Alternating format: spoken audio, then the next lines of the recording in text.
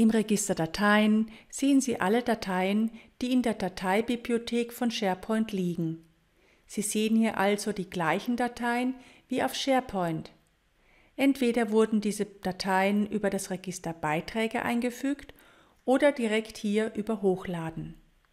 Vielleicht wurden diese auch direkt auf SharePoint hochgeladen und das hat sich dann mit Ihrem Register Dateien synchronisiert. Über die Menüleiste können Sie allgemeine Befehle ausführen, die alle Dateien betreffen.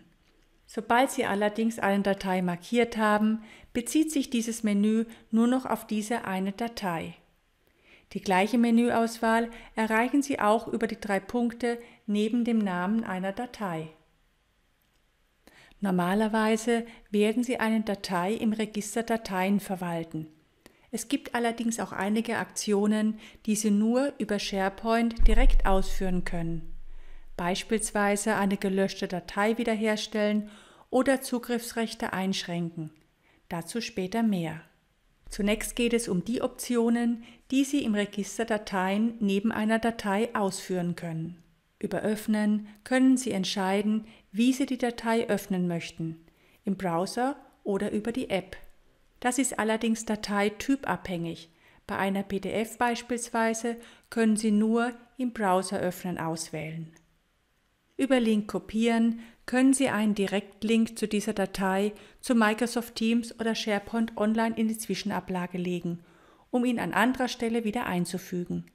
Hat der Empfänger keine bestehende Zugriffsberechtigung auf diese Datei, kann die Datei auch nicht geöffnet werden. Um anderen Teammitgliedern eine Datei schnell zugänglich zu machen, können Sie die Datei in eine Registerkarte dieses Kanals verlinken. Der Speicherort der Datei bleibt davon unberührt. Um eine Kopie der Datei im Ordner Downloads zu speichern, klicken Sie auf Herunterladen.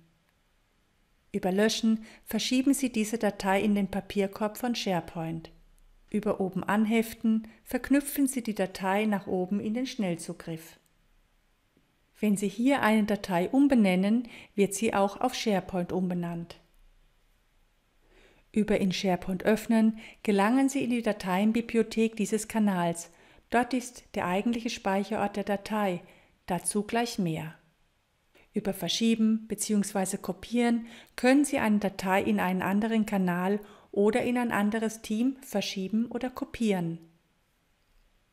Über Mehr auschecken können Sie eine Datei aus- und wieder einchecken. Wenn Sie eine Datei auschecken, können andere diese Datei zwar noch öffnen, aber nicht mehr bearbeiten. Andere sehen auch nicht, was Sie an der Datei ändern. Erst wenn Sie diese Datei wieder einchecken, können andere wieder den aktuellen Stand sehen und die Datei wieder bearbeiten. Eine ausgecheckte Datei erkennt man an dem roten Symbol neben dem Namen der Datei.